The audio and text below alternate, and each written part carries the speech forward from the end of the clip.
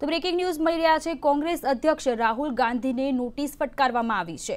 મહત્વપૂર્ણ કહી શકાય કે કોંગ્રેસ અધ્યક્ષ રાહુલ ગાંધીને નોટિસ ફટકારવામાં આવી છે. રાહુલ ગાંધીને ગૃહ મંત્રાલયની નોટિસ ફટકારવામાં આવી છે. રાહુલને નાગરિકતા મુદ્દે આ નોટિસ પાઠવવામાં આવી છે.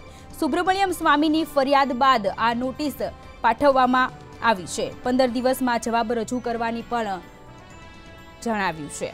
તો બ્રેકિંગ ન્યૂઝ મળી રહ્યા છે દિલ્હીમાં. કોંગ્રેસ અધ્યક્ષ રાહુલ ગાંધીને નોટિસ ફટકારવામાં આવી છે. રાહુલને નાગરિકતા મુદ્દે આ નોટિસ ફટકારવામાં આવી છે. ઉલ્લેખનીય છે કે સુબ્રમણ્યમ સ્વામીની ફરિયાદ કરવામાં આવી હતી, જે બાદ આજે કોંગ્રેસ અધ્યક્ષ રાહુલ ગાંધીને નોટિસ ફટકારવામાં આવી છે. પંદર દિવસમાં જવાબ રજૂ કરવાની પણ જણાવ્યું છે. મંતવ્ય ન્યૂઝના સંવાદદાતા કામેશ ચોકસી આપણી સાથે ફોન લાઇનમાં જોડાઈ ગયા છે. કામેશ, વાત કરવામાં આવે તો કોંગ્રેસ અધ્યક્ષ રાહુલ ગાંધીની નાગરિકતાના મુદ્દે નોટિસ પાઠવવામાં આવી છે. શું છે વધુ અપડેટ્સ?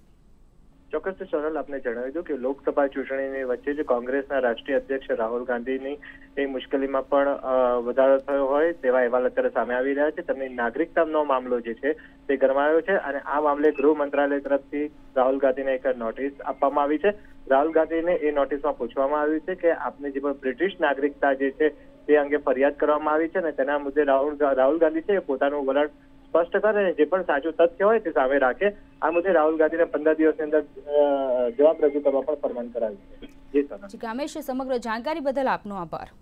તો દિલ્હીમાં કોંગ્રેસ અધ્યક્ષ રાહુલ ગાંધીને ગૃહ મંત્રાલય દ્વારા નોટિસ ફટકારવામાં આવી છે. હવે જોવાનું તે રહેશે કે રાહુલ ગાંધીને રાહત મળે છે કે તેની મુશ્કેલીમાં વધારો થાય છે. પંદર દિવસમાં ગૃહ મંત્રાલયે જવાબ આપવાનું કોંગ્રેસ અધ્યક્ષ રાહુલ ગાંધીને જણાવ્યું છે. બ્રેકિંગ ન્યૂઝ કહી શકાય.